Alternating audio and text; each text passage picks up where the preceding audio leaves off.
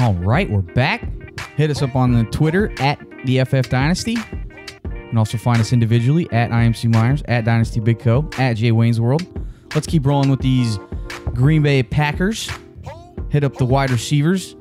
Could start with Davante Adams. Not a lot to say about Davante Adams. He's awesome. I would like to maybe put him up against some of the other top ranked guys in, in the league. Uh, you know, it's it's we're doing a mock draft right now, and he was the second wide receiver off the board. I, I might like to talk about that, but we don't need to get in that now. I think maybe we take that over to Patreon. Sure. Let's uh let's get to some more of the the, the lesser pieces in this offense, the cheaper pieces. Marte, Marquez Valdes-Scantling really blowing up right now. A bunch of blurbs about how Yeah, Ton he's, of blurbs. he's on fire. he's uh. He's on fire right now. So what do we want to do? A little buy sell hold. We could do just a buy sell hold on on MVS. I mean, I I think he's getting some heat. He's at one, not heat on a bad way, heat in a good way. Um, right.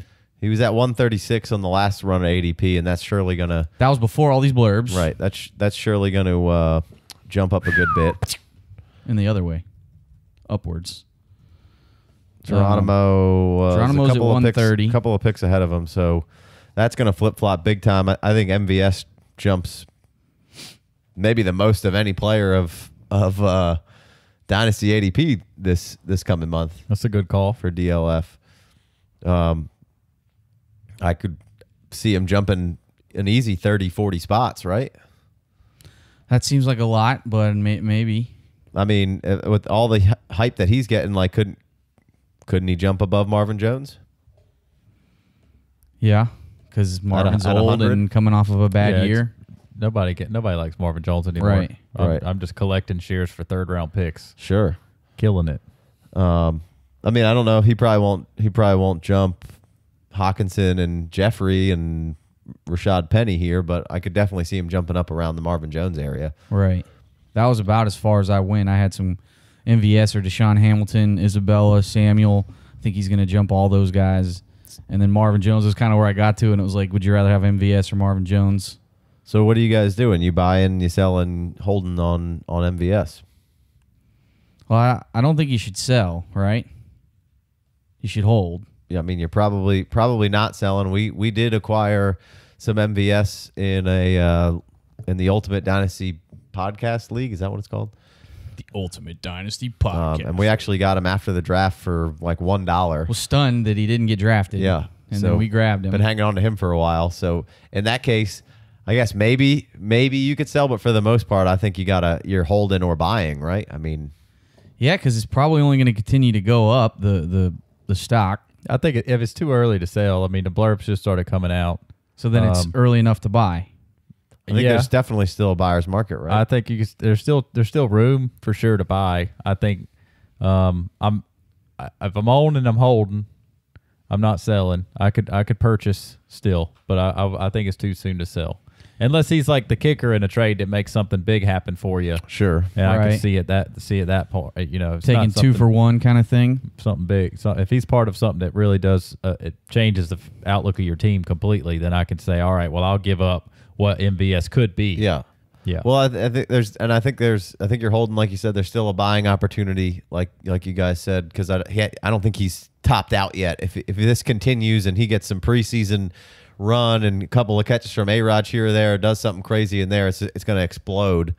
Um, is there a certain point where where you would sell, or is this just like i I'm holding because it's all day long because it's Aaron Rodgers? Could be Aaron Rodgers number two.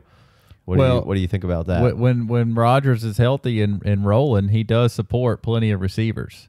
Um, he's if he you know Rob like Jay Wayne was saying earlier, you know when he's when he's on his MVP course, you know there was a reason why he was the first quarterback taken a couple years a row and a, a couple years in a row in fantasy football because and he he's throwing forty something touchdowns almost every year, thirty five to forty five touchdowns. That's a lot of fantasy points to guys. And I mean Davante Adams just crushing the double digits for a couple years in a row now. What four Yeah. years in a row? Um, he even, can't. He even can't the bad the Aaron. Rodgers isn't bad, Right. You know, exactly, exactly.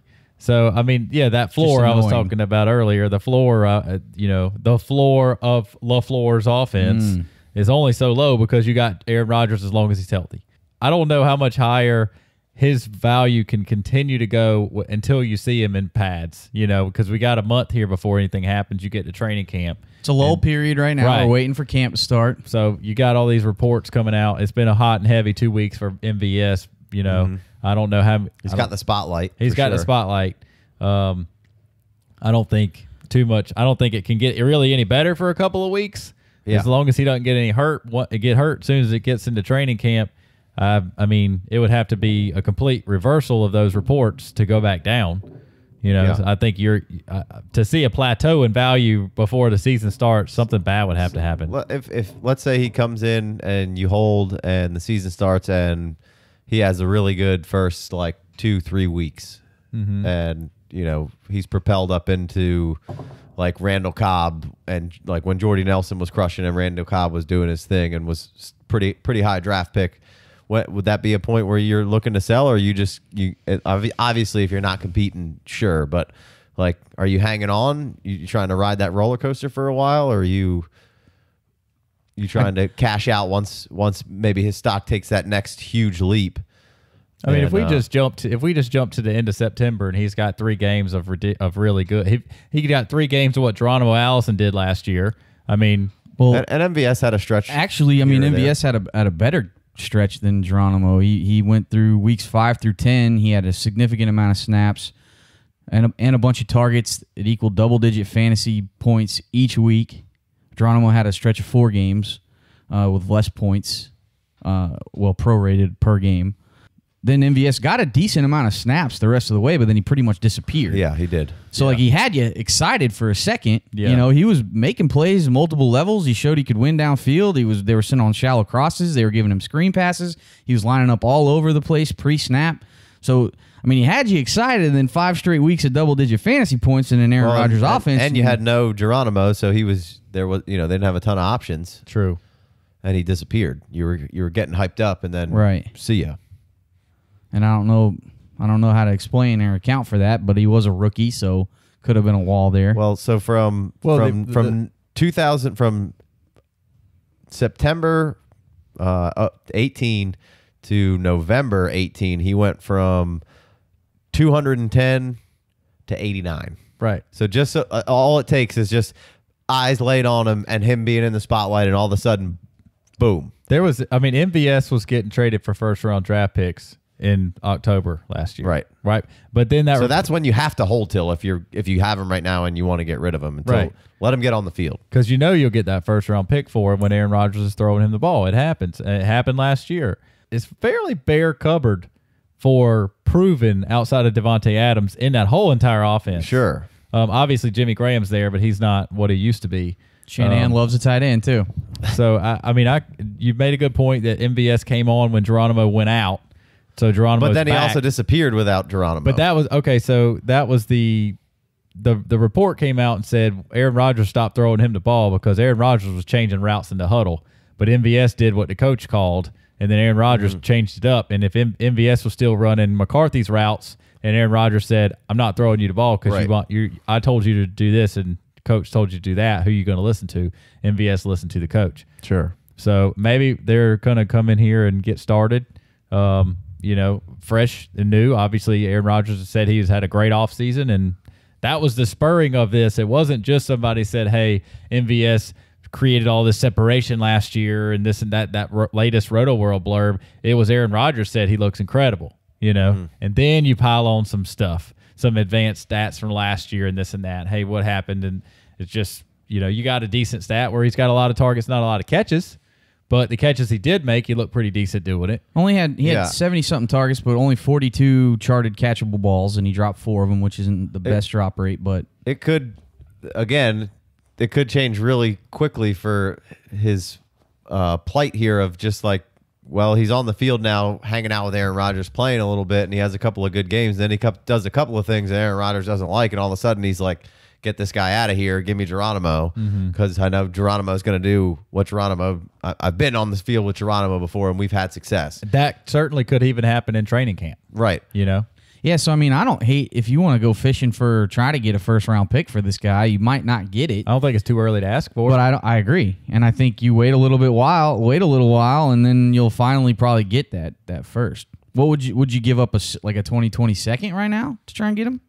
I could I could give that up. Yeah, sure. I could I could give that up for a lottery ticket. You think that would get it done? I mean, probably. Like, I mean, not for not for us. Like, if somebody offered that us in the UDPL, I'd hang on. But Right. Um, So get out of here with that. for the most part, I, I I would send a two over four. I'm Like, I don't I don't love the guy. That's my. I'm not. Right. I'm not super If you're not infatuated with sold on him. MVS. I'm not super sold on him. I could be completely wrong. I've been. But the height adjusted speed score. I've been though. wrong a lot. Um, but I'm I'm just I'm not that invet. Like he's not somebody that I'm like.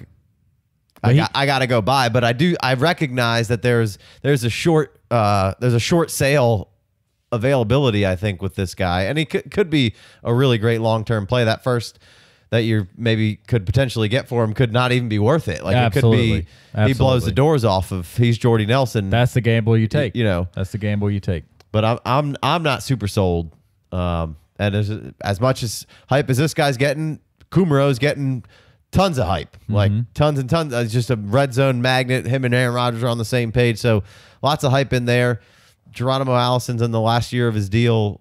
I was in camp sell Geronimo Allison after he was doing shit with Aaron Rodgers because I don't think he's a great player either. I just think he was doing well with Aaron Rodgers. Right. Um, well, that was following. We were in camp by Geronimo Allison Right.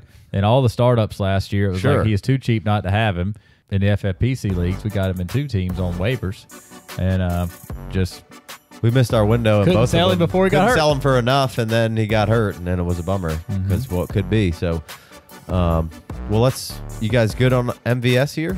Yeah. All right. Well, let's let's move on to the rest of the offense and and uh, get out of here.